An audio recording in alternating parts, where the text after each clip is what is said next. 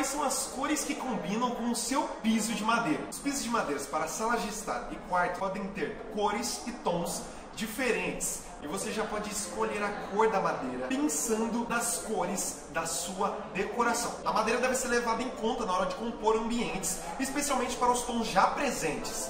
O lado bom é que o piso de madeira combina com quase todas as cores. E aí, você sabe qual cor combina com o seu lar? Não? Então fica nesse vídeo que você vai conhecer hoje.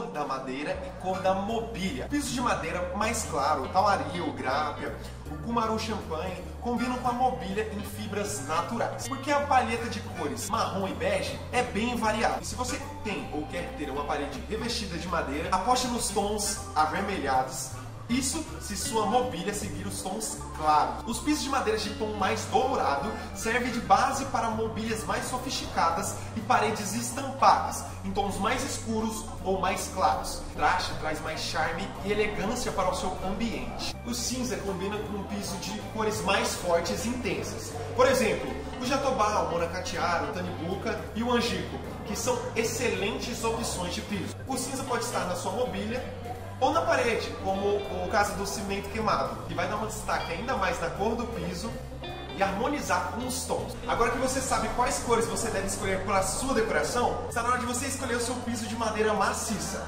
E ele pode ser taco palito, taco ou assoalho, tanto faz. Se você não sabe qual piso escolher, no canal do Madel Madeira já fizemos um vídeo sobre isso. Clica aqui em cima no card para você saber mais. Agora aquele final de sempre, né? Eu espero que você tenha gostado desse vídeo. Com alguma dúvida, comenta aqui embaixo que respondemos. Tá construindo ou reformando, já sabe, né? É Madel. E lembrando, Madel é mais.